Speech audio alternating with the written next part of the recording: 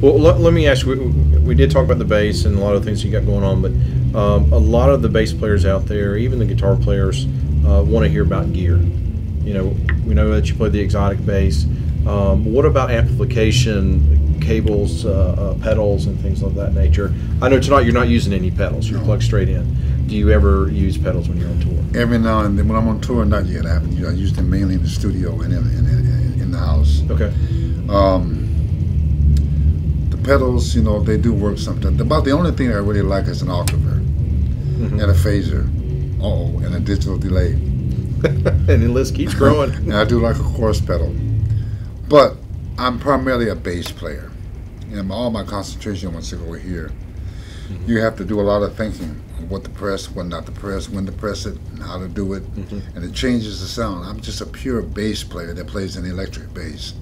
So I do like the pedals, but I don't.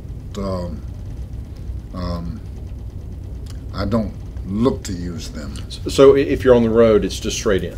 unless I have a roadie. Okay. If I got tech help, I can have I can have everything I want. Okay. But I don't want to carry it.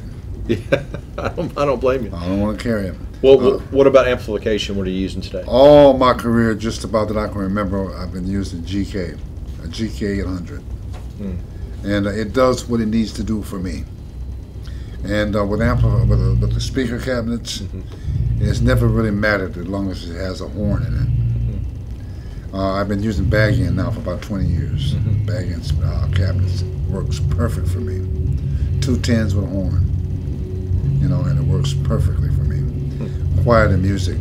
I'm listening to the guys play downstairs, and I never play that loud. I'm old fashioned. I never play They're that pretty loud. loud downstairs. I can Um, tell you. So I'm going to have to compete with that, but I think it'll be okay because I'm a different person. Yeah, you yeah. And everybody down there, I know, Mhm. and they are great bass players, by the way. Mhm. They're great bass players. So I enjoy listening to uh, the younger. I thought I'd never say that the younger guys play, Yeah, but they're doing very, very well. And I got a homeboy down there, Doug Johns, yeah. great bass player. You know, but what he does, I can I don't do that. I can't do it. Uh, yeah, And of can I. course, Quentin. You know, the first time I saw Quentin play, I went to sleep. I wanted to go to sleep. I said, "How?" And I even tried that. And to me, he is different. To be able to play like that, you haven't seen Quentin. You, you you're missing it. You're up here. I think he's playing now. He plays the bass like this, like a violin. He holds it, he Yeah. cradles it in his arm. plays it like plays. this, and he plays it Ah, like this. Slaps it, plucks it, solos. He can play like this, but he's something else. We're talking to Spider Webb, drummer. Oh, we're talking for- about Spider Webb, Kenneth Rice. Many, many years, many, many years. It's so good to see you. I'm gonna say that until until I don't see you. Harry Belafonte, Aretha Franklin, King Curtis. So many sessions in New York and L.A. I love you, dude. So many great years. We set Hollywood on fire. We sure did. We came out of New York and killed him. we came out of New York and just we we, we killed him. We did. They didn't like us for that too, you know. Wow. Well, a lot, lot of, a lot of really interesting history, and and I appreciate hearing all those stories. You got a lot of miles on you, you know, been around a while. Uh, but again, just from uh, Xotic family, uh, just really appreciate uh, all the work that you've you've done with the Shio and on this bass, and um, you know, you, you look good. You look, your health is back. It seems. Man, I am. I, I would like for everybody to know. I was in such a dark place at one time. The universe is not through with me, and I don't mind saying it. I hope I don't overdo it. For three months, I was paralyzed. I could not talk at all, and I was determined to come back and play, and I did. You know, uh, I've always taken very good care of myself. Been very healthy, except high blood pressure. Mhm. Uh, but I'm very fortunate to be here and it's great to see Spider. And, and I, I was very serious when I talked about Ralph Armstrong. I have seen a lot of upright players play. Who? Uh, Ralph Armstrong. What you messing with me for? You don't like I'm that I never played one of your basses. Yeah, you have. No, Yeah, I got vi- video of it. You didn't send me one. Well, it, last year you played it. you didn't send him one. You didn't send me one. No, uh, uh, Ivan, he took it. He didn't send me one. You better talk to him. Okay. It's unofficial. But to get back where I was, I have been a, uh, I am a bass student. I've been playing for 51 years, and I'm a bass student. And whenever, and I can tell, I can tell who's up to a certain period of time. I listen to a record, I can tell you who the bass player was by touch and sound. Mm. I can tell you who the bass player wasn't, because a lot of people claim things that they did not do. Mhm.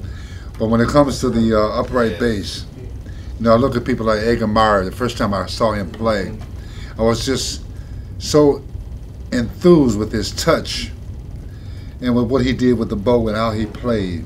Christian McBride just blew me away. I keep running into people, and I come out of New York watching people like Milt, Milt Hinton and George Duvivier and Richard Davis.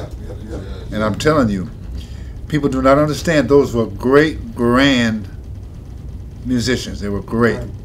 Mingus was so good that a lot of people didn't like him. He was so good because of the command over his bass. And I was alive to know these people personally, for them to know me, Mhm. and to watch them. I get a chance to come to Detroit and meet Ralph Armstrong. Brother man, I really enjoyed hearing you play. Thank you, sir. I enjoyed hearing you play. is such an honor coming from one of the masters. Because when I was a kid, I listened to everything you played on every record, every Quincy Jones. I said, Mama, I want to hear Chuck Rainey.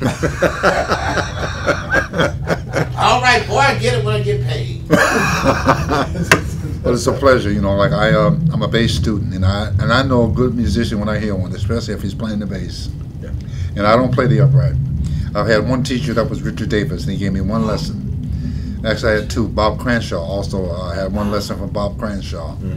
Um, and I take my hat off to a person that will carry that bass around and be because you can't drop it, you can't bump into nothing with it. No. You gotta take you can drop this maybe. I know a Fender you can drop, you know, but the taking care of it like it's a baby, like it's you know a woman, like it's you know. well, you, you mentioned the upright a couple times. Mhm. Uh, it, it sounds like you're kind of an admirer of that, that instrument. Uh, would you play it on a CD? You think in the future? Or? not until I can play it. Now I can play a ballad. yeah.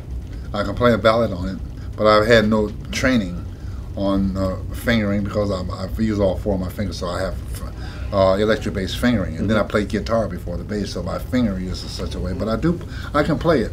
Yeah. You know, I got an old Kay at home that Yeah, I fool around with every now and then. yeah. You know, uh, but it takes. That's what Slam Stewart played. And oh yeah, she did. You're right about that. I heard him live, didn't have a microphone. Yeah, you got that right. Mhm, played That it, bass- You heard through the whole building. That bass probably cost two hundred dollars. yeah. Big plywood sound.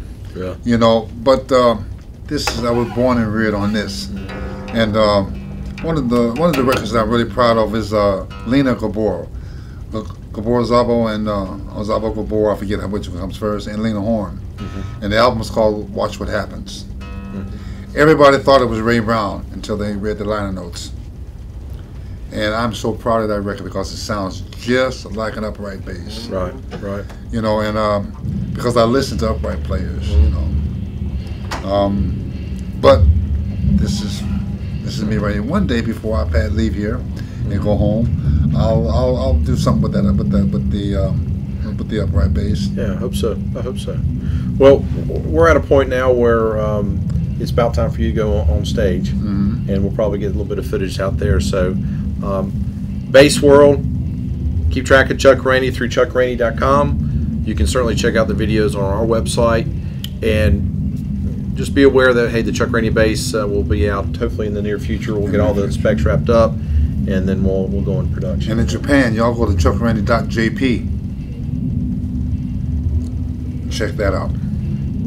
Well, Mr. Hayes, it's always it's been a pleasure this It's a whole pleasure- weekend, pleasure to and meet you, uh, man. the Thank you first very time that we've really ever met, I, I think, and uh, um, I- I've just I've just really really really enjoyed it. Man, thank you very You know. much. I appreciate it. I'm glad to be here. So here we are, Detroit Bass Fest 2013. Probably uh, be back next year. Check us out then. In the meantime, go to xotic.us for more information on exotic effects and basses. See you soon.